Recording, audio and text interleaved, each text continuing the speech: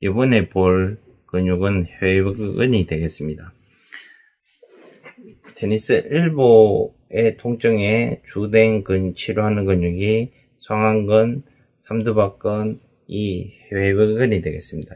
이 회회근은 어, 척골 후면에 요골 절원 아래서 후관절랑 여기에서 상부 요골 전면에 전후 사경선 그러니까 되게 속에서 안쪽에서 이렇게 꼬여 있습니다. 근육 자체가 이 요골과 척골 사이에 이렇게 비집고 들어가서 이렇게 꼬여 있는 근육인데요.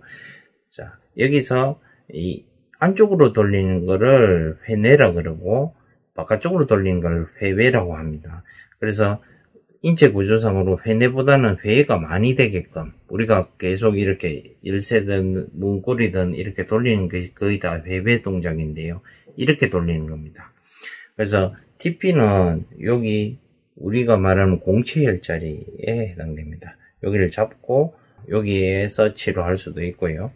이 바깥쪽에서 요, 이, 요걸, 요걸, 요걸 또 측면 위쪽에서 이렇게 들어갈 수도 있습니다.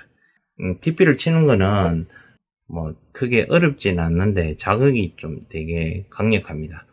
그리고 테니스 엘보 같은 경우에는 어찌됐건 이 회액은 TP를 치면 통증 자체가 좀 경감이 되기 때문에 아주 유용한 TP가 되겠습니다.